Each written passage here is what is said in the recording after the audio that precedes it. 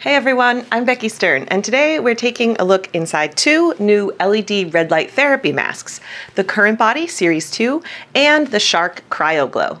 Keep watching to see me try them out, take them apart, and analyze the design and manufacturing of the circuitry inside. First up, taking apart the CurrentBody Series 2 mask. It's flexible like the previous version, but also more contoured to the shape of the face, especially under the chin. The Series 2 also has a few more IR LEDs in another wavelength, in addition to the red and near infrared LEDs present in both versions. I quickly learned that what worked in my teardown of the Series 1 mask was not going to work for the Series 2. The outer layer, flex PCB, and inner layer are all fused together into one solid piece.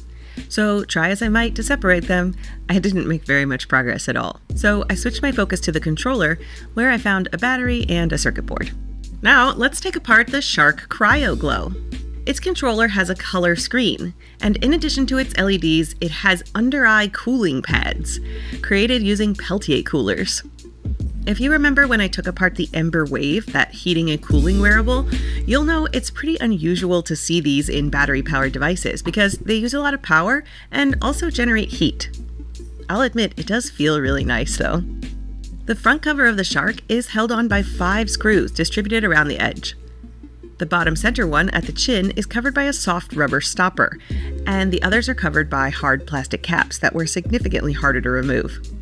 I used a combination of nippers to dig in and an awl to pry out. Once I removed the front shell, the inner wiring of the mask became visible. There's a circuit board in the forehead area, and everything else plugs into it. I systematically removed the components in the order they were most apparent to me the front LED fixture, the cheek fans, the circuit board, and finally the flex PCB with all the LEDs on it. Then I removed one of the under eye coolers and the pads from the inside of the mask. There's a capacitive touch sensor in the forehead pad. No wonder this thing is so heavy. It's got more than a dozen metal screws loaded up inside. The controller has two PCBs, two batteries, and a small screen. Watch the full video to take a closer look at the electronics inside with my channel's favorite electrical engineer, David Cranor.